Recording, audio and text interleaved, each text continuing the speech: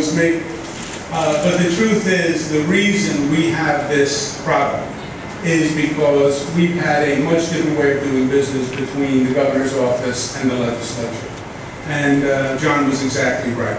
We said to each other two years ago, when we were first coming in, and it was a very bad place for the state, we said we have to do something different.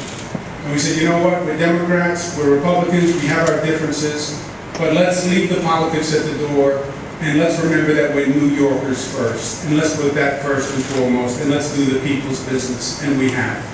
Uh, we don't always agree.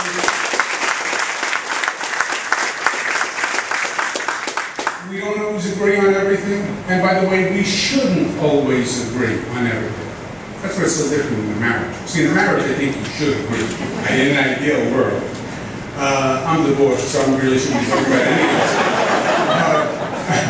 The, in government, the disagreement is not a bad thing. You come from different places, you come from different philosophies, and you're supposed to bring your perspective, and you're supposed to argue. But you're not supposed to allow your perspective and the differences rule the day. And the gridlock that you see in Washington and other governments, that's the enemy. The paralysis is the enemy. Good debate, good discussion, but then put your differences aside. Remember the people come first and progress comes first. And that's what we've done in Albany for two and a half years, and I hope we can say that we do it next year too, because it's hard. And I give the credit, frankly, to my colleagues in the legislature.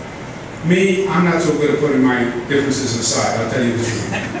Uh, But we, we really have been able to uh, find a way through, and I credit them. And I'd ask them to stand, and let's give them a round of applause for their good work.